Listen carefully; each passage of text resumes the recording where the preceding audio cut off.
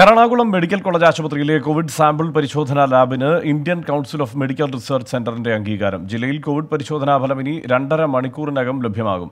ദിവസേന നൂറ്റി സാമ്പിളുകളാണ് ലാബിൽ പരിശോധിക്കാൻ സാധിക്കുക.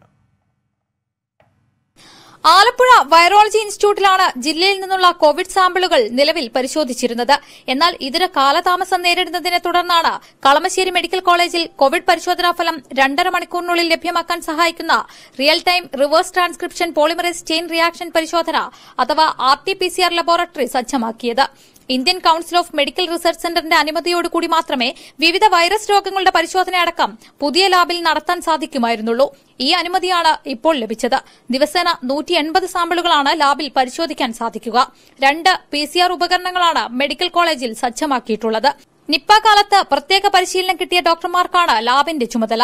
ഒന്നേകാൽ കോടി രൂപയാണ് ലാബിന്റെ സജ്ജീകരണത്തിനായി ഇതുവരെ ചിലവായിട്ടുള്ളത്. ട്വന്റി കൊച്ചി.